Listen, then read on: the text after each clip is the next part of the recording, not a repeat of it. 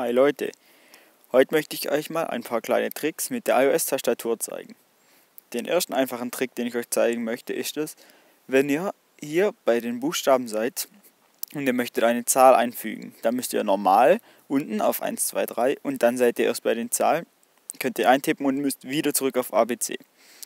Der leichtere Weg ist es, wenn ihr irgendetwas schreibt, dann geht ihr unten auf 1, 2, 3, bleibt aber auf der Tastatur mit dem Finger, zieht einfach hoch geht zum Beispiel auf die 3 und lasst los. Dann seid ihr direkt wieder bei den Buchstaben zurück und müsst nicht erst wieder unten drauf drücken, damit ihr bei den Buchstaben seid.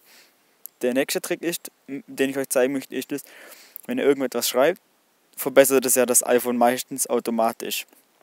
Was oft passiert, dass es nicht das Richtige ist. Wenn ihr das ausschalten möchtet, geht ihr ganz einfach unter Einstellungen, Allgemein, Tastatur und hier könnt ihr alles ausschalten, zum Beispiel die automatische Großschreibekorrektur, die Kurzbefehle, die Feststelltaste, alles könnt ihr da ausschalten. Ihr könnt einstellen, dass die Tastatur zum Beispiel auf Englisch, Französisch, Spanisch, was auch immer ist. Und was ich cool finde, ist das untere, einen Kurzbefehl hinzufügen. Da könnt ihr jetzt oben zum Beispiel reinschreiben, Hallo, was geht?